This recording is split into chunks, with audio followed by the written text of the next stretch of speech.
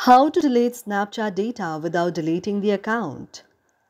If any day any of you are a Snapchat user and you like to delete the data of your Snapchat without deleting the Snapchat account, but you do not know how to do that, just follow the following steps. For this, first of all, you have to find the very Snapchat application on your mobile device.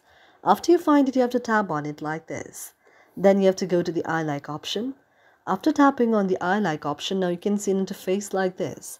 Now here what you have to do is you have to scroll down and then tap on the option of storage.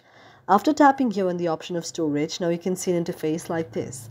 It will show you the option of app, data, cache and the total.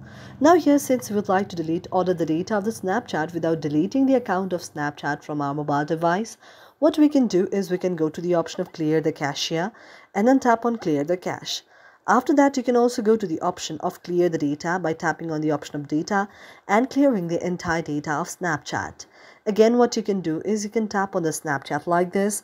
Then you can go to the next icon, that like icon on the top side, and then to the settings like icon. After going to this like icon, now here you can see the options of all of these. Now what you can do is you can go to the option of clear the cache and then again go to the option of continue here. After tapping on the option of continue now again you have to scroll down and you have to wait for a while.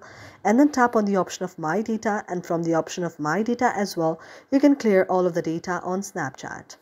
Thank you for watching our video and if you really like it do not forget to subscribe our channel